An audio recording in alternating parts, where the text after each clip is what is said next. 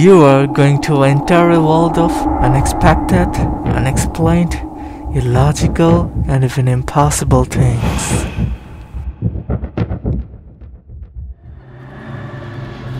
A world beyond science, logic, and proof exists.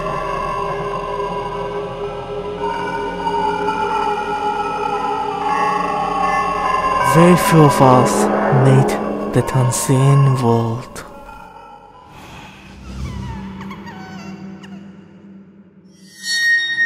But we move on, keeping them.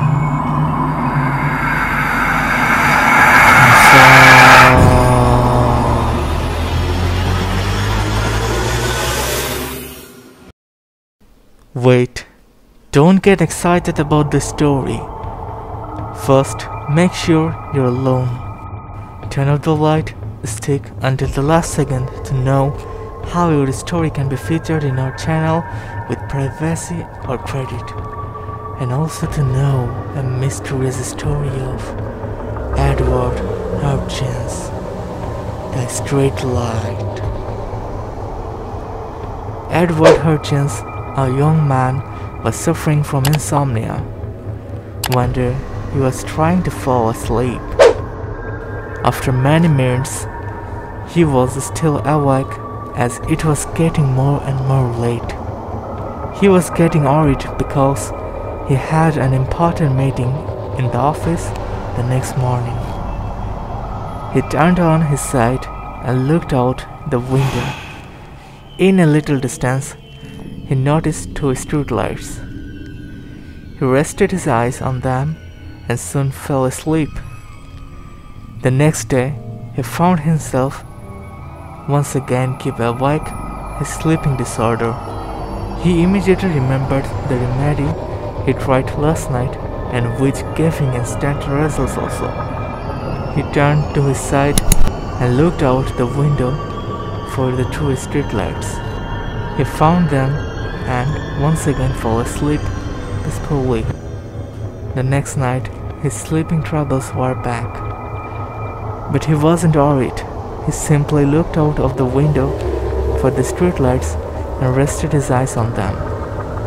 This night, both of them were flickering every few seconds.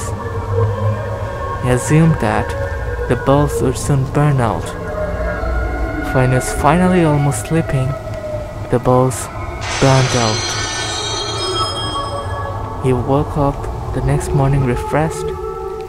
He was really relieved from insomnia for the streetlights.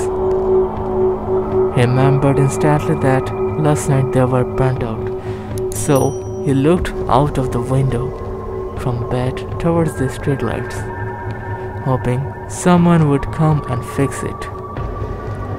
However, as he looked, he noticed something that made him leave the bed and reach the window immediately. There were no streetlights. He leaned closer to the window to double check, but still the streetlight were nowhere found.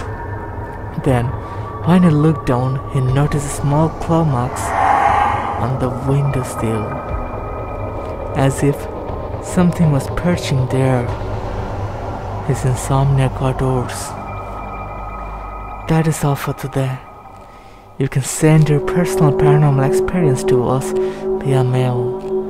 That is unsolved.mail at gmail.com. And don't forget to drop a like. If you have any comment or any video request, let us know in the comment box. We will try our level best to reply all of you. Subscribe to our channel and stay tuned for the scariest videos. Follow us on Instagram. The Instagram and email is given below in the description box. Don't overthink about ghosts. Just move on, keeping them unsolved.